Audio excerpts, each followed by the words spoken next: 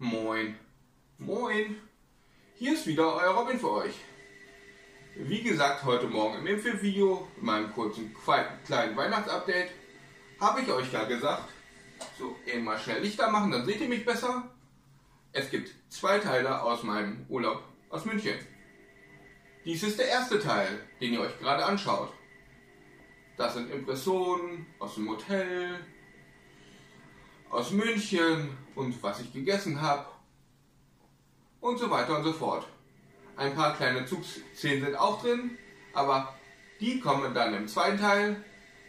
Im zweiten Teil habe ich auch schon gemerkt, einige Sachen, die ich gefilmt habe, kann ich leider nicht übernehmen, da mein System irgendwie nicht anerkennt und so.